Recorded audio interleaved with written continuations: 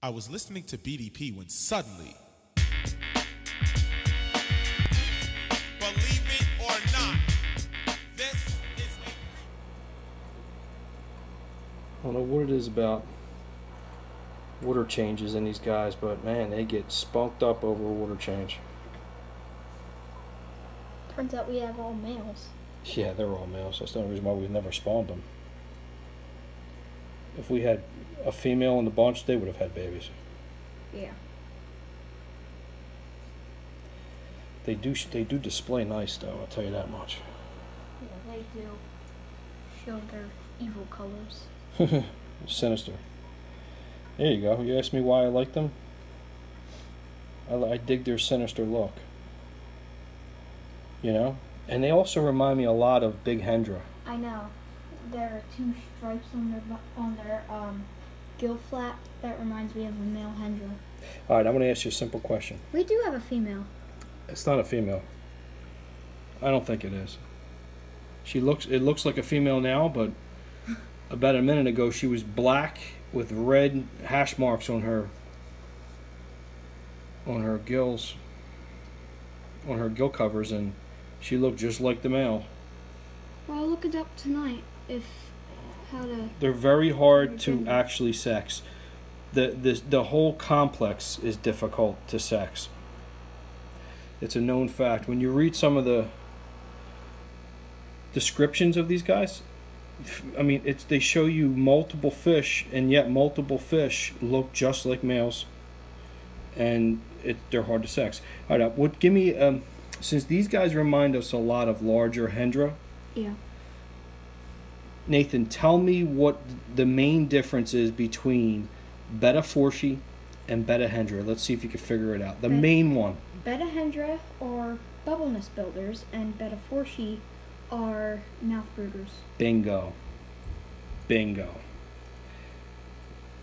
We're watching. Who said you didn't learn anything about wild betta fish at 11 years old? Who said you didn't? I don't. I don't know a person who did. Because there's nobody who knows about them. Maybe one day you'll be the one who actually writes a book on wild betta fish. Maybe. Hmm? While you're in college. You think about that? You write your thesis on wild betta fish. Look at look at She's this. getting green. He or she, whatever. My my honest opinion is male. Just a young male. I think it's female, but it just like switches colors. It could be reason. a sub male instead of a dom male, like the other two, which are always bickering. sub sub as my dad meant as the less dominant ones.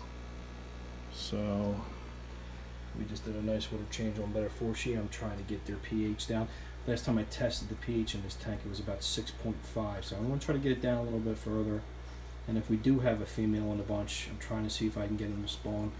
I just put a bag of peat moss in the back about a week ago, which is softening and probably help lowering the pH a little further.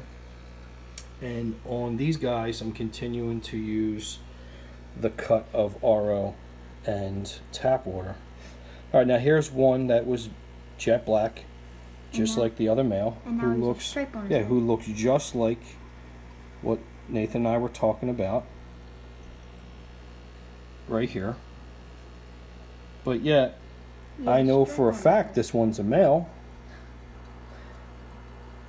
and I know them the males have red on their gill flank on their gill covers, but um, Who knows? Female might. This Um, fish a couple minutes ago was jet black, just like the other two. So, Mike, get Nick. Um, there's a pork chop rasbora in here just to um get them out. As He actually does a really good job of that too. It's, the only problem is he's by himself. I might pick up a few more just to break it up a little bit so he has somebody to school with. But he definitely has done a really good job unknowingly in allowing or in getting these guys to come out in the open. These guys were always very shy. And okay, let's see. No, she ra- he or she ran away. Yeah. There's definitely Now, not changing colors. I know the females are known to show more of a golden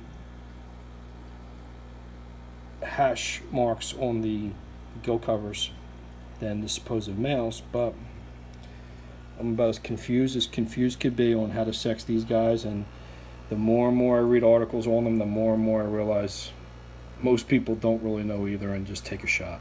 Put in the comments below if you know how to sex them. Yeah, and and um, either way, I'm still going to be convinced that I think all three of these guys are males. So thank you very much for watching FunctionBuilt Aquatics. You're catching Betta foerschi, showing me all types of cool coloration right now. We just did a 25% water change on their tank, and man, they seem to react to water changes pretty well. The male and female imbellis right next to them are staring at them. Like, Yeah, staring each other down. hi neighbor. Thanks, guys. FunctionBuilt Aquatics. See you guys. See ya. See ya.